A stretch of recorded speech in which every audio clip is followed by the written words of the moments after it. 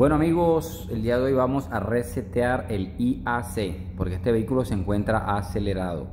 Eh, lo primero que vamos a hacer es abrimos el switch o ponemos el contacto.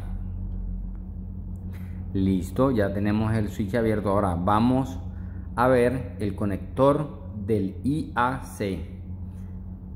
Aquí está, este es el famoso IAC o el micromotor de ralentí conectamos, verificamos aquí eh, los, pues, el conector que esté en buen estado. A veces este, este es el problema, a veces no es el IAC, sino el conector el que hace que el vehículo falle, se acelere o se apague.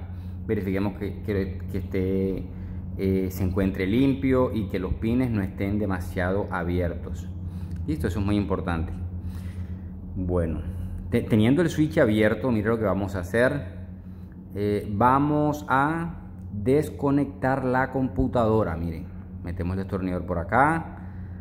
Entonces desconectamos la computadora con mucho cuidado, obviamente. Ahí nos sale, empujamos otro poquito, listo. Este ya hemos desconectado. Ahora vamos a volver a conectar. ¿Sí? Ahí en este momento se va a resetear el IAC. O sea, va a salir el pistón y va a volver a la posición en la que debería eh, estar, o sea, la posición correcta.